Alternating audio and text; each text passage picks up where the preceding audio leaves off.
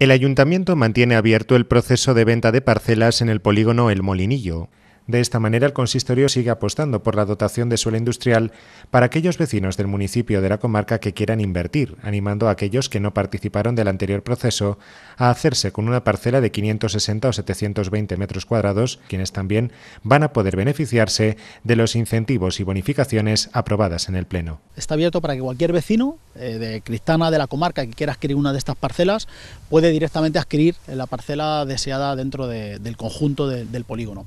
El objetivo de alguna manera es reactivar la actividad industrial, que en cualquier caso se está viendo que está funcionando muy bien, y que este polígono, que inicialmente solamente tenía un uso agrícola y que hoy en día está ya abierto a otro tipo de usos, uso industrial, uso también de naves, de aperos, naves también de almacenes, cualquier tipo de industria puede instalarse ya en él. Una bonificación del 75% del impuesto de construcciones y obras, el impuesto de obras de toda la vida, como un incentivo más para promover de alguna manera que este polígono recobre vida y dar oportunidad a esos empresarios que veían el precio del suelo un problema tradicional para comprar una parcela. Así pues, ya lo saben, si están interesados en iniciar un negocio o en ampliar el que ya tienen, pueden adquirir una parcela en este polígono.